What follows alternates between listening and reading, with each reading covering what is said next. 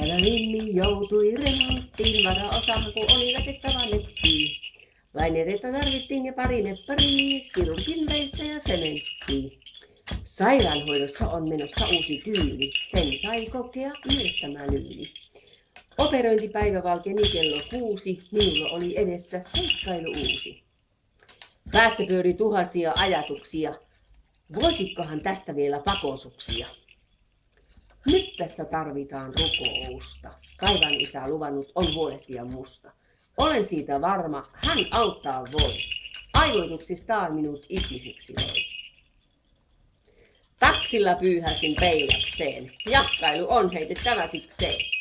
Kello seitsemän ovet aukes, epäröinti niin siihen raukes. Elämässä mieli on eteenpäin, sienestämässä jo itseni näin. Jalkakunton hoidettava on ensin, siksipä leikkaus saliin riesin. Leikkupöydälle ihan itse kiipesin, kolmen tunnin päästä sitten heräsin. Operointitiimille suuret kiitokset. Toivon, että hyvin kestää nämä liitokset. Sosiaalinen verkosto mulla hyvin toimii, Toipilana siitä saa loistavasti voimia. Heti pääsen ajelemaan Fanni Klaaralla. Mieliala nousee sillä kaaralla. Kevät saapuu vilkkaan ja pitenee päivät, tällä räpillä hälvennän huolen häivät.